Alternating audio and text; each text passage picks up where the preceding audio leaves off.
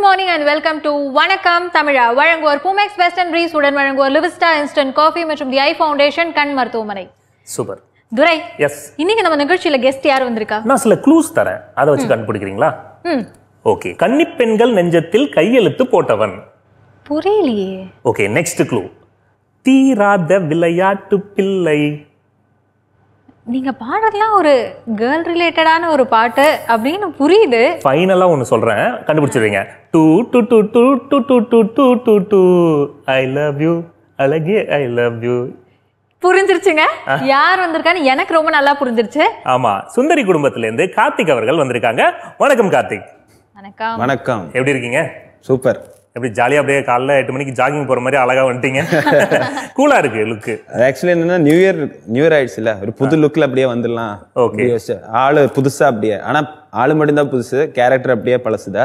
So அப்படியே உங்க முன்னாடி வந்து உட்காரலாம் ஓகே கார்த்திக். இப்ப சுந்தரி சொல்லவே தேவையில்ல. எப்பயுமே பரபரப்பா போயிட்டு இருக்கோம். இப்ப இன்னும் விறுவிறுப்பு அதிகமா இருக்கு. அதை பத்தி சொல்லுங்க. ஆமா கொஞ்சம் என்ன மாமாவை பிடிச்சி ஜெயிலுக்குள்ள வச்சிருக்காரு. நான் வந்து கொஞ்சம் சுந்தரி கிட்ட பாசமா இருக்காரு. இவ்வளோ நாளாக வந்து பாசமாக இருந்தா இன்னும் கொஞ்ச நாளைக்கு ஒதுக்கி வச்சிருக்காரு. ஸோ அந்த மாதிரி சுவாரஸ்யமாக தான் போயிட்டு இருக்கு ஆனால் மக்கள் அது எப்படி எடுக்கிறேன்னு இது வரைக்கும் அந்த டிஆர்பியில் பார்த்து தான் தெரிஞ்சுக்கணும். இது வரைக்கும் நல்ல டிஆர்பியில் தான் போயிட்டு இருக்கு ஒரு நல்ல ரேட்டிங்கில் தான் போயிட்டு இருக்கு ஸோ மக்களுக்கும் பிடிக்கும் தான் நான் நம்புறேன். ஸோ விறுவிறுப்பாக தான் போயிட்டு ஆக்சுவலி எனக்கு ஒரு சின்ன டவுட்டுங்க என்னன்னு கேட்டீங்கன்னா இப்போ வந்து அனுக்கும் உண்மை தெரியாது. தெரியாது. பட் ஆனா நீங்க இப்ப சுந்தரி கிட்ட பாசம்லாம் காட்டுறீங்க. இப்ப அணுக்கு லைட்டா ஒரு டவுட் அப்படி எட்டி பாக்குது ம். சோ இப்ப அணு எப்படி சமாளிக்க போறீங்க? அணுக்கு உண்மை தெரியுமா தெரியாதா? அப்படின்னு ஒரு பல குழப்பங்கள் வந்து எங்களுக்குள்ள இப்போ போகிற ட்ராக்ல வந்து பார்த்தேன்னா அனுவுக்கு வந்து ஒரு டவுட் வந்துச்சு. வந்து என்கிட்ட அங்கே போகக்கூடாது. எதுக்கு வந்து எப்பவும் அங்கேயே போய் உட்காந்துட்டு இருக்க? யார் அவங்க? அந்த மாதிரி டாக்ஸ் எல்லாம் வந்துட்டு இருக்கு. நானும் சமாளிக்க முடியாம. அஹ் என்ன பண்ணன்னு தெரியாம முழிச்சிட்டு தான் அஹ் அதான் என்ன பண்ணன்னு தெரியல. டைரக்டர் சொல்லுவார் என்ன பண்ணணும் அதுக்கப்புறம் தான் டிசைட் பண்ணோம்.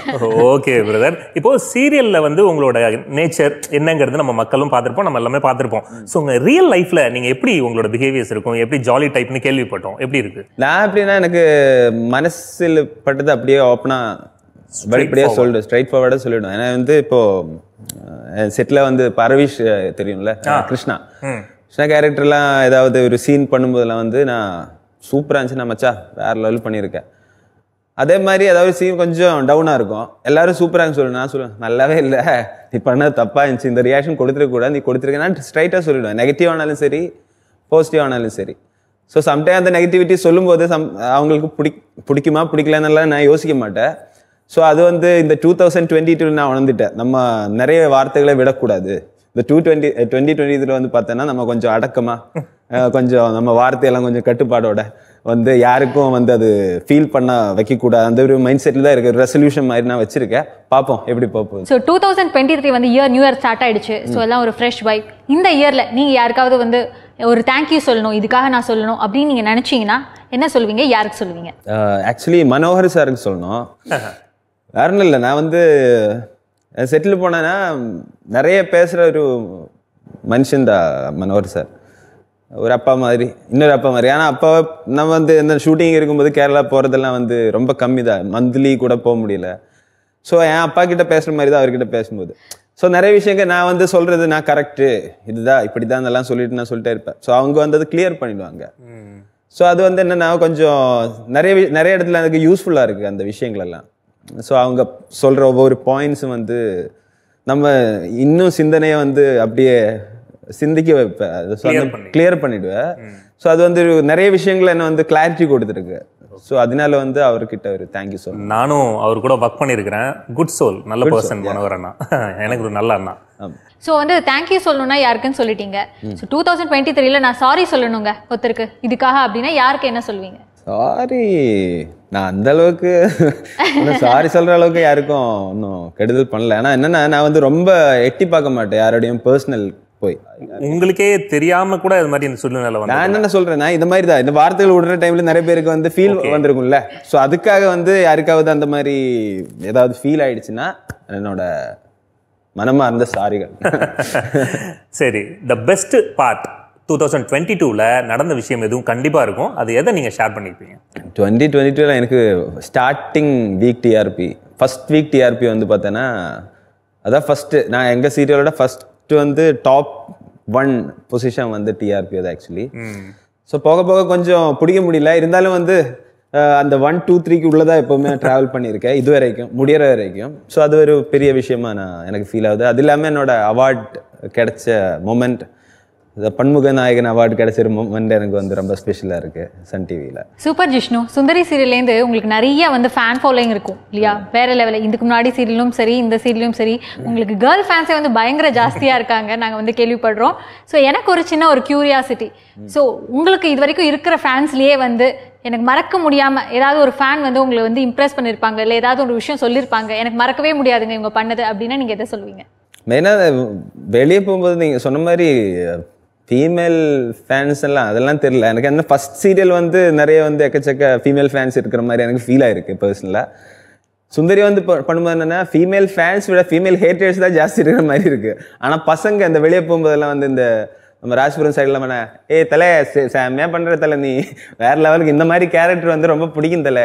இந்த மாதிரி தான் எனக்கு இருக்குன்னு ஆசையா இருக்கு தலைன்னு சொல்லி குழந்தை இந்த பதினெட்டு பதினெட்டு வயசு அந்த பசங்க இருக்கும்ல அவங்களுக்கு தான் இந்த கேரக்டர் இன்னும் வந்து பிடிச்சிருக்குன்னு நினைக்கிறேன். அதான் இதெல்லாம் வந்து ரியல் லைஃப்ல எடுக்காத. ஓகே பிரதர் உங்களை பத்தி நிறைய விஷயங்கள் பேசிட்டு இருக்கோம். உங்களை பத்தி நிறைய பேர் வந்து மொட்டை கடுதாசில உங்களை பத்தின விஷயங்கள்லாம் அமைச்சிருக்காங்க அது நாங்க வந்து வாசிச்சு காட்டுவோம். அது யாரு என்னன்னு நீங்க தான் கண்டுபிடிக்க போறீங்க. அந்த செக்மெண்ட்குள்ள தான் நம்ம இப்ப போக போறோம். ஓகே ரெடியாக இருக்கீங்களா? ரெடி ஓகே ஃபர்ஸ்ட் லெட்டர் யார் எழுதியிருக்கா அப்படிங்கிறத நான் வாசிச்சு காட்டுறேன். நீங்க எப்பயுமே கலகலன்னு எல்லாரையும் சிரிக்க வச்சுக்கிட்டே இருக்கீங்க. அது எங்களுக்கு ரொம்ப பிடிக்கும். நீங்க நீங்களாவே இருங்க. யார் சொல்லியிருப்பா? இது என்னோட செட்ல யாராவது சொல்றீங்களா? நம்ம சன் குடும்பத்துல இருந்து ஒருத்தவங்க தான் அனுப்பிச்சிருக்காங்க. எல்லாரையும் சிரிக்க வைக்கிறதுனால யாரு எழுதுறது? கன்ஃபியூஸா இருக்கு. அப்ப நிறைய பேர் எழுதியிருக்காங்க. நிறைய பேர் சொல்லியிருக்காங்க இப்போ உங்கள்ட்ட. சரி இப்ப நம்ம சன் குடும்பத்துல புதுசா ஒரு குடும்பம் இணைஞ்சிருக்கு. சரி. அதுல இருந்து ஒரு ஆர்டிஸ்ட் புதுசா வந்த சீரியலா வந்து இனியா இனியா சீரியலா நோ. நோ. வேற யாரு? அந்த சீரியலோட ஹீரோயின் இலக்கியா சீரியலா தெரியாது ப்ரோ வேற யாரையும் சிரிக்க வச்சிருக்கீங்க. ஆனந்த ராகம் குடும்பத்துல இருந்து அனுஷா அனுப்பிச்சிருக்காங்க. Oh sorry Anisha. இந்த சீரியல்ல இருந்தும் இந்த புதுசா வந்த அந்த ஹீரோயினுக்கும் உங்களை பிடிச்சிருக்குன்னு சொல்றாங்க. Okay okay okay okay brother அவங்கள பத்தி ஒரு ரெண்டு வார்த்தைகள் சொல்லுங்களேன். அனுஷா. நல்ல டேலண்டான ஒரு ஆர்டிஸ்ட் பார்த்துருக்கேன். ஆக்சுவலி நான் சிவா சார் நம்ம சிவா சார் சேலம் சிவா சார் கண்மணிக்கு அப்புறம் வந்து ஆனந்தராகம் ப்ராஜெக்ட் ஸ்டார்ட் பண்ணுறேன்னு சொல்லி எனக்கு கால் பண்ணியிருந்தேன் இந்த மாதிரி புதுசாக சன் டிவியில் வரப்போகிறேன்டா ஷூட்டிங் டைமில் வந்து ஃப்ரீயாக இருந்துச்சுன்னா வந்து பார்த்துருன்னு சொன்னாங்க கிட்ட. சரிங்க சார் நான் வரேன். கரெக்டாக வந்து அமைஞ்சிச்சு. எங்களுக்கு ஷூட்டிங் வந்து வல்சராகம் போயிட்டுருக்கு. கரெக்டாக எக்ஸாக்ட்லி ஆப்போசிட் சைடில் வந்து அவங்களுக்கும் ஷூட்டிங் போயிட்டுருக்கு. ஸோ கரெக்டான தருணம்ல சொல்லி சாரை பார்க்கலாம் சொல்லிட்டு அந்த செட்டுக்கு போனேன். அப்போ தான் ஃபஸ்ட்டு அனுஷாவை பார்க்குறேன் ஸோ நான் யோசிச்சேன் ஓகே பெர்ஃபார்மன்ஸ் எப்படி இருந்தாலும் சும்மா பார்க்கலாம் கொஞ்சம் நேரம் சொல்லி உட்காந்துட்டு இருந்தேன். வந்து தமிழ் பொண்ணு கிடையாது. She's from Mangalore I script எல்லாம் வந்து பார்த்து சைலண்ட் சாதாரணமாக உட்காந்துட்டு இருக்கேன் ஆனால் வந்து ஆக்ஷன் சொன்னதுக்கப்புறம் அப்படியே ஒரு டிரான்ஸ்ஃபர்மேஷன் அதுக்கப்புறம் வந்து நான் எபிசோட்ஸ் பார்த்தேன். அந்த ஃபைட் சீக்வன்ஸ் ஆனாலும் சரி டான்ஸ் ஆனாலும் சரி. நல்ல டேலண்டட் ஆர்டிஸ்ட் எனக்கு தெரிஞ்சு. ஓகே பிரதர் இப்ப அடுத்த சீட் நம்ம என்ன இருக்குன்னு பார்க்கலாமா. ஓகே ஜிஷ்ணு நீங்க எல்லாரும் நினைக்கிற மாதிரி கிருஷ்ணன் இல்ல அவர் கர்ணன். அதாவது எங்களுக்கு எழுதியிருக்காரு. இது யார் சொல்லியிருப்பா? அது மீனிங் எனக்கு கரெக்டாக புரியல. நான் தெரிஞ்சு வச்ச மீனிங் இல்லைன்னா ஃப்ரெண்ட்ஸ் வந்து நிறைய பேர் நம்ம வந்து கஷ்ட நான் வந்து சென்னையில் வந்த டைமில் வந்து வீட்டிலலாம் சண்டை போட்டுலாம் தான் வந்திருக்கேன். ஸோ எனக்கு தெரிஞ்ச ஒரு ஒன் மந்தில் வந்து ரயில்வே ஸ்டேஷனில் வந்து அட்ஜஸ்ட் பண்ணியிருக்கேன். அந்த டைம்லலாம் எனக்கு சென்னையில் யாருமே தெரியாது. அந்த ஒரு மொமெண்ட்லலாம் வந்து. ஸோ நான் வந்து ரயில்வே ஸ்டேஷனில் வந்து அந்த வெயிட்டிங் ரூம் இருக்கும்ல ஏசி வெயிட்டிங் ரூம்லலாம் போய் கொஞ்ச நேரம் அப்படியே நைட்லாம் அப்படியே ரெஸ்ட் பண்ணி காலையில எல்லாம் வேலை தேடிட்டே இருக்கும் அந்த டைமில் இன்ஜினியரிங் முடிச்சு வந்ததுக்கப்புறம். ஸோ அந்த டைமில் நிறைய கஷ்டப்பட்டிருக்கேன். அந்த காசு விஷயத்துலலாம் ரொம்ப கஷ்டம்லாம் இருந்துச்சு. ஸோ அந்த கஷ்டம் வந்து என்ன தெரிஞ்சவர்களுக்கு வந்து யாருக்கும் வரக்கூடாது. ஸோ யாராவது கேட்டுருச்சுன்னா யோசிக்க மாட்டேன். என்கிட்ட மேக்ஸிமம் நான் வந்து அவங்க கேட்குற அமௌண்ட் அந்த எந்த கஷ்டத்துல இருக்குன்னு தெரியலன்னு சொல்லிட்டு நான் ஹெல்ப் பண்ணிடுவேன். ஆனால் நிறைய விஷயத்துல எனக்கே அது வந்து ஒரு பேக் இதாக ஆயிருக்கு. ஸோ இருந்தாலும் வந்து நான் யோசிக்கிறது இல்லை அதை பற்றி ஸோ அது